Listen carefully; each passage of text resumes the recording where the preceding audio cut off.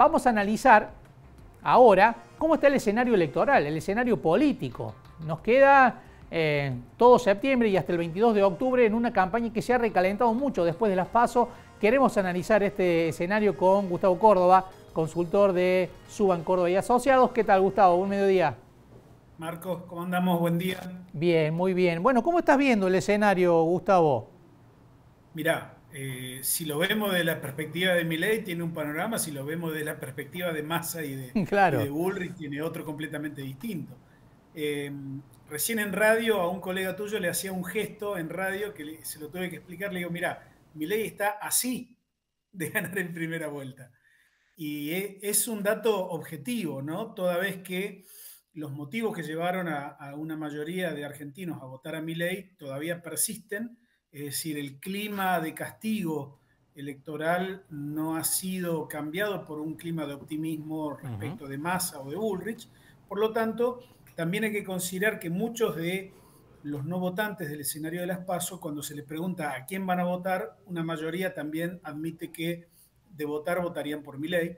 Así que te diría, Marcos, eh, esperando a ver cómo las campañas se reconfiguran, eh, está claro, fíjate, por ejemplo, en el caso de Patricia Bullrich, que fue una victoria pírrica. Eh, claro. Prácticamente todos los recursos económicos, políticos e intelectuales de su campaña se agotaron tras el triunfo contra la reta, ¿no? Y su performance electoral hoy es apenas lo que ella sacó más un poco de lo que eh, obtuvo la reta. Eso significa algo, ¿no? Cada punto que pierde Patricia Bullrich es un punto que está eh, sumándose de manera íntegra a Javier Milei. En el medio queda Massa, que necesita, a mi entender, dos milagros. El primer milagro es evitar que Milei gane en primera vuelta.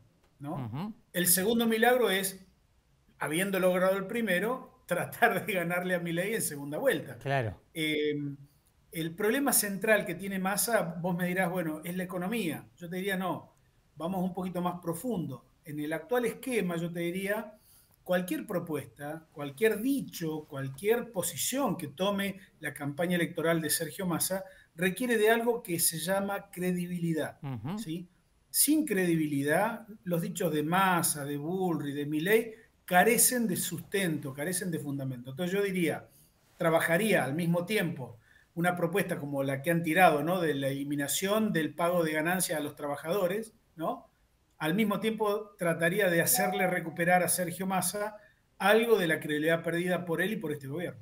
Hay un fenómeno muy llamativo en Milei, Gustavo, que Milei mm, parece un candidato que puede decir cualquier cosa, cualquier barbaridad, que si la dijera otro candidato lo sufriría en términos de caudal electoral, ¿no? Eh, lo que viene diciendo eh, eh, términos muy peyorativos hacia algún sector político, lo que dijo con que las empresas pueden contaminar el río todo lo que quieran, total, cuál es el problema. Y podríamos enumerar una gran cantidad de frases muy desafortunadas que no hacen mella en, el, en, su caudal electoral, ¿no? Déjame decirte que poco y nada le importa eso a la persona que hoy está dispuesta a votar a mi ley, ¿no? Claro. Eh, hay dos antecedentes Jair Bolsonaro en la República de Brasil y Donald Trump en Estados Unidos.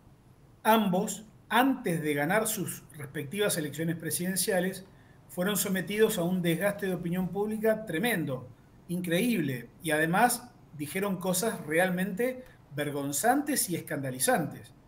¿Qué resultado electoral tuvo eh, negativo para ellos? Ninguno. Ninguno.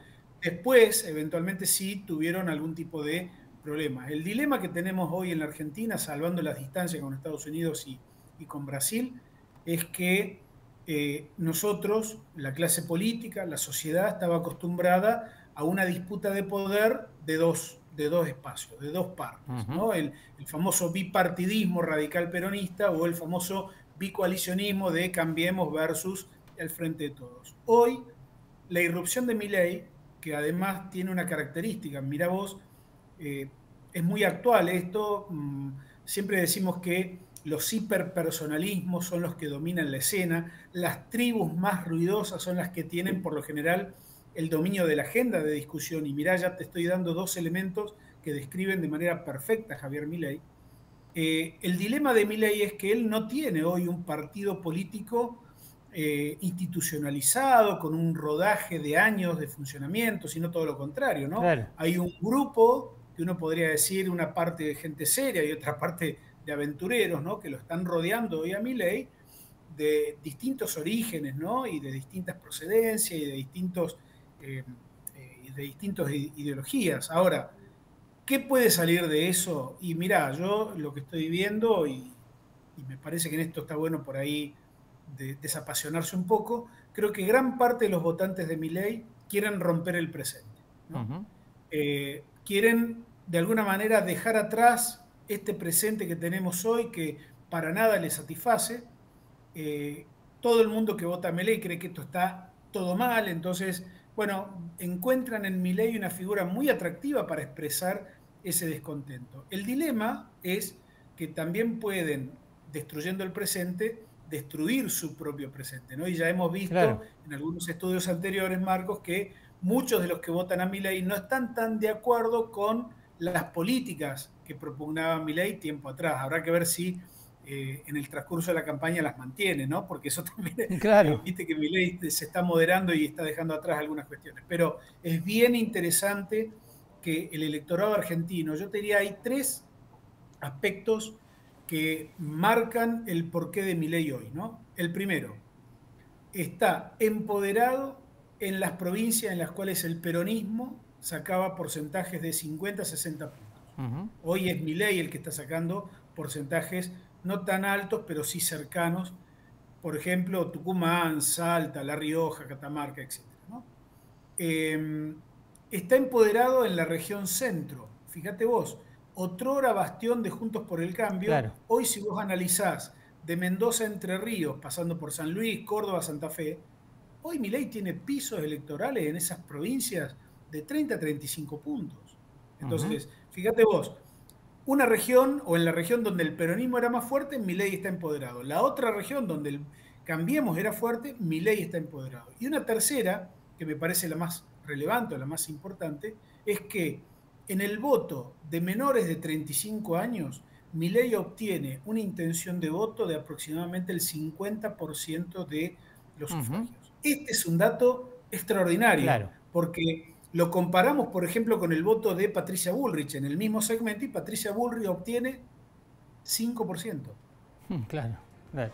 ¿No es cierto? Entonces, fíjate vos, estas tres característicos, estos tres ejes de análisis, marcan a las claras que, salvo que ocurra un milagro electoral para Massa, que es el que está más cerca de ir a pelear un eventual balotaje, digo, hoy la, elección la tiene muy favorable ley digo, puede cambiar, sí, evidentemente, porque si no, no se dan las dos condiciones que establece la Constitución Nacional, esto es 40 y una diferencia de más de 10 o 45 puntos por sí solo, bueno, vamos a ver qué es lo que sucede en estos días. Gustavo, muchísimas gracias. Un gusto hablar con vos como siempre. Al contrario, abrazo enorme. Un abrazo. Gustavo Córdoba, consultor de Suban Córdoba y Asociados, dando un panorama. Está así. Mi ley de ganar en primera vuelta, nos dijo Gustavo Córdoba, aunque el escenario puede cambiar, quedan todavía dos meses por delante. Nosotros nos vamos, nos despedimos hasta el lunes, como siempre, a las 12.30. Chao, que tengan buen fin de semana.